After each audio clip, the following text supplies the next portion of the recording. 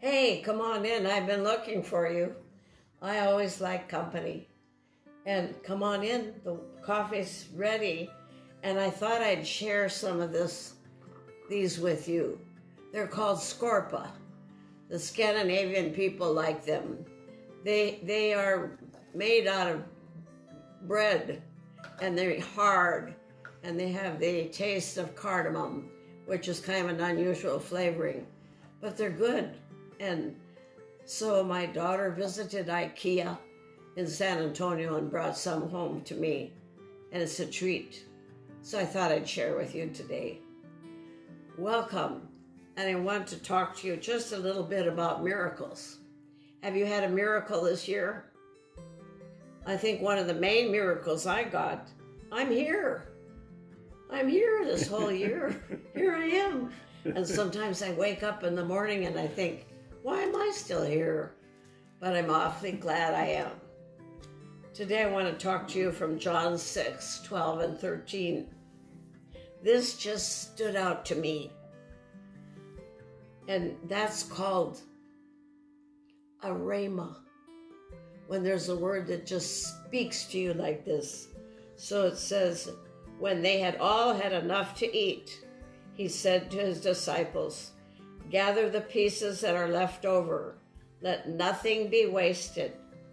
So they gathered them and filled twelve baskets with the pieces of the five barley loaves left over by those who had eaten. This is the story of the miracle of the feeding of 5,000 men. Now, they don't say how many women and children, but they were there too. I don't know about you, but if I have men at my table, they always eat more. You might have to have more meat, more potatoes, a whole lot more food if men are going to eat. Women are more dainty. No, I will just have a small slice, thank you. But men eat a lot. So there were 5,000 men, and the Bible says that they were hungry. They didn't know what they were going to eat. They had been there listening to Jesus speak. And so Jesus had said to his disciples, Give them something to eat. And Philip said, My goodness, eight months' wages wouldn't buy enough to feed all these people. But there was a miracle a little boy shared his lunch. He just had bread and fish, and that was enough for a miracle. And this is what I, I stood out to me. Jesus said, after the miracle, after they'd all been fed and their tummies were really full, he said, Gather up the leftovers. Let nothing be wasted. What did they do with those? They gathered them up, and there were 12 baskets full of leftovers, full of leftover bread. What did they do with it? The Bible doesn't say, but I thought there was one for each disciple. Each disciple got a basket full of leftovers. A doggy basket. Yeah. So, what do you do following a miracle? Do you make a statue? Do you make a statue to the bread and the fish? Or what do you do after a miracle? Do you forget about it? I remember when I was growing up, mother was good at leftovers. We were seven kids, and then with parents, nine.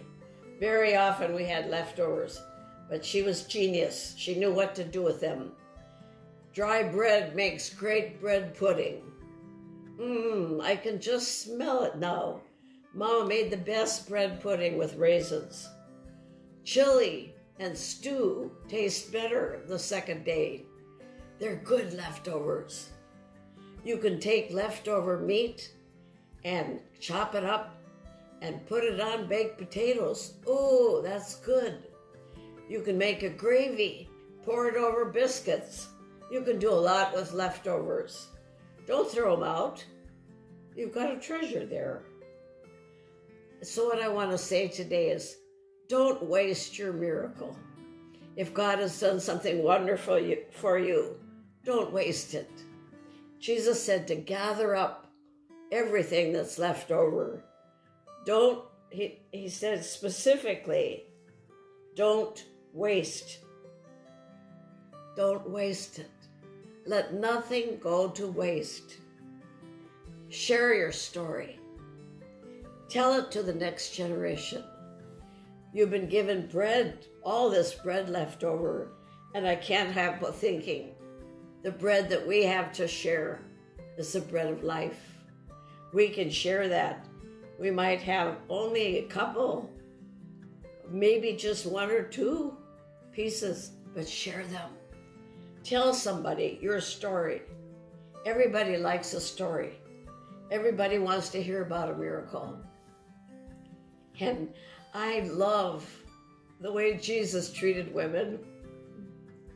When they saw him after he rose from the dead, he said, Go and tell my disciples. They had just seen a miracle. They saw Jesus, the risen Savior, and he said, Go and tell. Go and tell. Oh, I think they must have been thrilled to be able to tell it firsthand. I just saw Jesus. I saw him. No, the disciples weren't too sure about it. That's one reason I like to minister to women. They're quick to believe. and if you tell them in a group of women, you can say, Isn't Jesus wonderful? He's so wonderful. And they say, Yes, yes. And right away, they want to tell somebody else. So if you've had a miracle this last year, share it. Don't let your basket just sit up on a shelf. He gave them the leftovers to share. And I don't know, maybe the disciples could go around to people that weren't there and share some of that bread. I don't know what they did with it. I doubt that they made bread pudding, but would sure be good. but anyway, share your story. Be quick to share the bread. Be quick to share your miracle. I have seen God work this year. And you might say, well, I prayed for a miracle and it didn't happen. But there are lots of little miracles. There are lots of little ones. During the freeze, I never lost electricity. That was a miracle for me. I could invite family and friends over. We could have fellowship, and I loved every minute. I loved having the company. I never lost electricity. A miracle. A piece of bread left over. God is good. You've been given a miracle of some kind. Share it. The greatest miracle of all is that we're children of God. That's the greatest miracle of all. And He would look at us and say, Yes, you're worthy to die for.